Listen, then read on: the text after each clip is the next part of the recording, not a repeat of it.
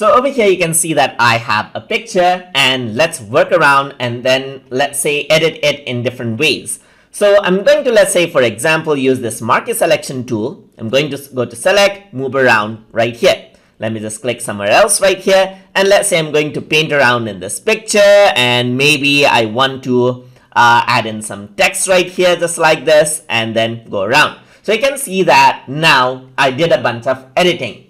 So sometimes what happens is that when you do editing, you do not want the same, um, you do not want uh, that result there. So what you can do is you can undo and to do that you can press Ctrl Z on your keyboard to go one step back or over here on edit you can go to undo and you can undo again and you can undo again so now sometimes what happens is that if you undo too much then you might want to redo the thing so i'm going to go to edit and if i were to redo then you can see that the thing that you did is just there but if I were to, let's say, for example, make some changes right here, then you are not able to redo anymore because it overwrites whatever uh, steps you did later on.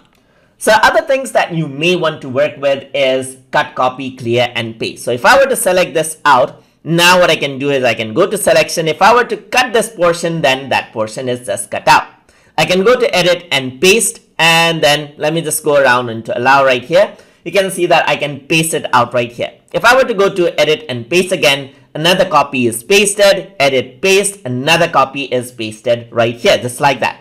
If I were to go around right here, I can also cut, I, I can also copy this out. Let's say, for example, I'm going to go around onto this area right here and then I'm going to copy this and I'm going to paste this out. Then that area is pasted as well just like that. So that is how you can cut copy. And another thing that you can do is clear. So that is simply deleting so I can click on clear and then that just deletes out the area. Let me just go to the background right here select this area right here. And then if I were to clear then that area is simply deleted. So it's like selecting an area and pressing the delete key on your keyboard. And that is how you can undo redo copy clear and paste things inside of Pixlr E. So hope you guys learned something as always.